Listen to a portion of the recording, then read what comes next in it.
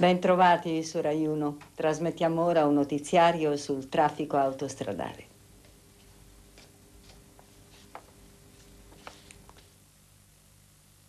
Dal centro informazione della società autostrade Pierluigi Gregorini. Come ci mostrano le nostre telecamere, code sulla 9 tra lo svincolo di Como Nord e Chiasso verso la Svizzera. Il traffico intenso provoca code sulla 14 Adriatica tra Cassel San Pietro e Bologna Borgo Panigale. Prudenza per chi è in viaggio sulla 16 e A14 a causa del vento forte tra Lacedonia e il raccordo con la 14 e nel tratto Poggio Imperiale Canosa.